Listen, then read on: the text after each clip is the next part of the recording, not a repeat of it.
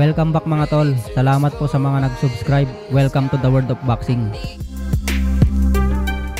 Magkano ba ang kinikita ng referee sa boxing sa isang laban? Magkano ang bayad sa isang judge? Ring announcer at syempre kasama na rin ang mga paborito kong makita.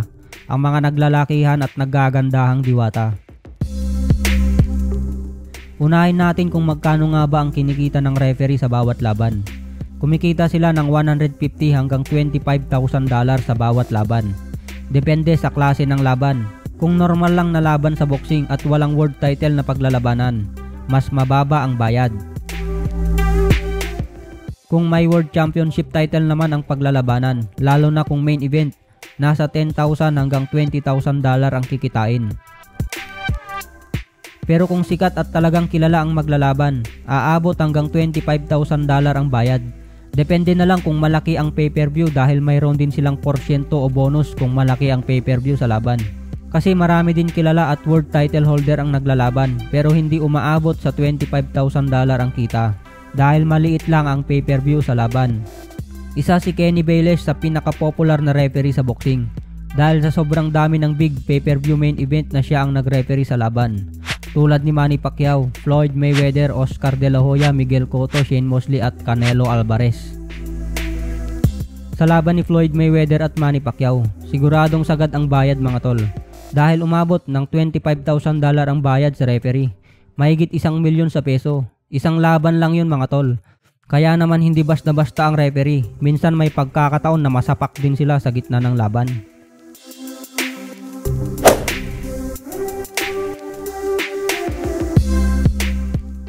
Magkano naman ang kinikita ng judge? May tatlong judge sa bawat laban.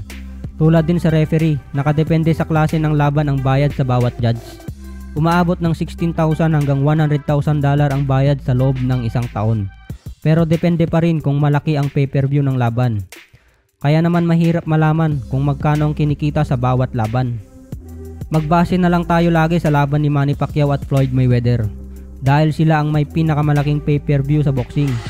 Kung si Kenny Bayless, umabot ng 25,000 dollar ang bayad. Ang bawat judge naman, mayroong 20,000 dollar ang bawat isa. Magkano naman ang kinikita ng ring announcer sa bawat laban? As always mga tol, depende sa klase ng laban. Ang mga professional announcer ay kumikita ng 40,000 dollar sa bawat laban. Pwedeng mas mababa sa 40,000 ang bayad kung walang world title na paglalabanan at hindi kilala ang maglalaban. Pwede rin mas mataas sa 40,000. Depende kung sino ang maglalaban at laki ng pay-per-view sa laban. Pero iba pa rin ang bayad ng mga di kalibre na ring announcer sa boxing. Tulad nila Michael Buffer, Jimmy Lennon, Joe Martinez at Ricky Wright. Dahil sila ang mga kilala talaga na ring announcer sa boxing at pinakamataas na bayad bilang ring announcer. Si Michael Buffer ay umaabot ng 5 million dollar ang bayad sa bawat laban sa mga big event. Pero kung normal lang na laban ang event, aabot pa din ito ng 500,000 dollar ang bayad. Basta big kasi niya ang kanyang magic word na Let's get ready for Rumble! Gentlemen, uh, let's get ready to rumble! Naimbento ni Michael Buffer ang magic word na yan noong 1984. Mula noon hanggang ngayon ginagamit pa rin ang word na yan.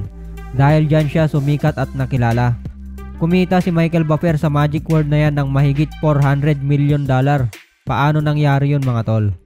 Nagbigay lang siya ng pahintulot o basbas na gamitin ang word na yan tulad sa mga video games, music at sa mga iba pang merchandise company. Mas malaki pa pala ang kinikita ng ring announcer kaysa kikitain ng mga boksingero na kailangan pang makipagbasagan ng mukha sa kalaban.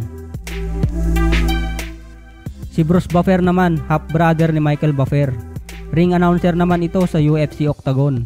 Kumikita ng 100,000 dollar sa bawat event. Hindi per fight ang bayad, per event magkaiba po yun mga tol. Ladies and fight is three rounds in the UFC welterweight division. Introducing first, fighting out of the blue corner. It's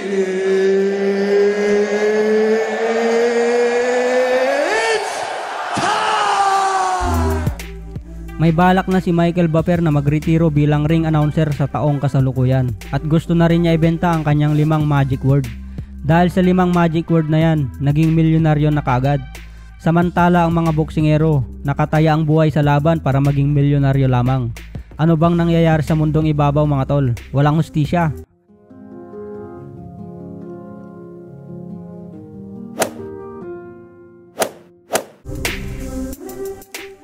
Si Jamie Lennon naman, kumikita ito ng 2.5 million dollar sa bawat laban kapag malaking event.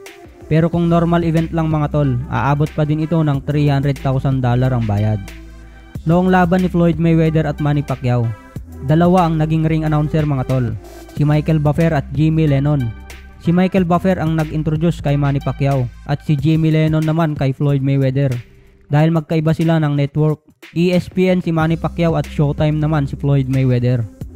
Halos lahat kilala at highest paid ang mga kinuha sa laban ni Manny Pacquiao at Floyd Mayweather. Ang ring announcer na si Joe Martinez naman, kumikita ng 500,000 dollar sa bawat laban sa malalaking event. Pagdating naman sa normal na laban, umaabot ng 50,000 dollar ang bayad.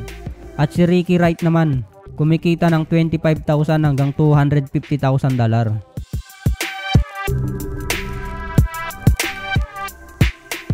Magkano naman ang kinikita ng mga chika babes ko? Sa boxing, may bayad na 8,000 dollar sa bawat laban. Kung kilala ang maglalaban at World Championship title. Yung mga pangmalupitan na ringer lamang ang nase-select para sa main event at magkakaroon pa ng bonus kung malaki ang pay-per-view sa laban. Umaabot hanggang 400,000 dollar ang kinikita sa buong taon. Aabot lamang sa 400,000 dollar ang kikitain kung madalas nasa main event ang isang chika babe. At kung normal na laban lang ang magaganap, aabot pa rin ng 200 dollar ang bayad sa bawat laban. Maliit lang mga tol. Ayon dito sa nakita ko, wala nang bonus-bonus at umaabot pa rin hanggang 40,000 dollar ang kinikita sa loob ng isang taon. Magkaiba naman ang bayad ng mga UFC ringer. Sa totoo lang mga tol, mas mahal ko ang mga chika bebe dito sa UFC. Talaga naman magiging bakal tayo dito sa sobrang init ng katawan. Talagang tangkoy ang datingan. Pareho din sa boxing, nakadepende ang bayad sa klase ng laban. Ang ring girl na may pinakamataas ang bayad sa UFC, si Ariani Celeste, na umaabot ng 700 dollar sa bawat event at 2,500 dollar naman ang bayad sa main event. Umaabot hanggang 30,000 dollar ang kinikita sa loob ng isang taon. Depende rin sa profile ng isang ring girl kung ito ay modelo at kilala sa mga sexy magazine. Siyempre mas malaki pa rin ang bayad. Bakit malayong mas malaki ang bayad ng ring girl sa boxing kumpara sa UFC Octagon mga tol? Sino naman ang nagbabayad sa kanila mga tol? Walang iba kundi ang boxing promotion na may hawak sa kanila. Kaya naman kailangang lutuin ng gusto ang laban ng mga boksingero bago ikasa para hindi sila malugi sa kikitain. Lalo na sa mga main event at world championship title. Dahil marami din silang kailangang bayaran para mabuo ang isang event sa boxing. Kaya naman mahirap mag-back up sa laban lalo na kung naayos na ang venue ng paglalabanan. Siguradong magmulta ng malaki ang boksingero kung aatras sa laban. Kung matatandaan nyo mga tol, yung nangyari kay Ifi Ajagba sa heavyweight division, yung tinakbuhan ng kalaban. Gusto niya mag-back out bago ang laban dahil maliit lang ang bayad sa kanya ng promoter at nalaman niya na ipapalabas pala ang laban niya. Pero dahil alam niya na magbabayad at ayaw niya magmulta ng malaki kung mag-back out, napilitan na lang na pumasok sa loob ng ring Hinintay na magbell at mag-touch ng glove sabay alis. Consider na TKO yun mga tol. Safe na siya, wala pa siyang babayaran. Kumita na, hindi pa nabugbog ang loko.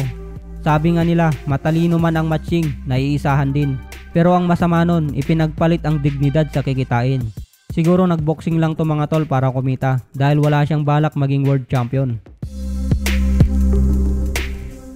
Ulitin ko lang yung tanong kanina mga tol. Bakit mas malaki ang bayad ng ringer sa boxing kumpara sa UFC? Comment lang mga tol. Kung may gustong idagdag sa impormasyon, isulat lang sa baba mga tol. Maraming salamat po sa panonood at pagsubaybay. Hanggang sa muli. Boy Bakal.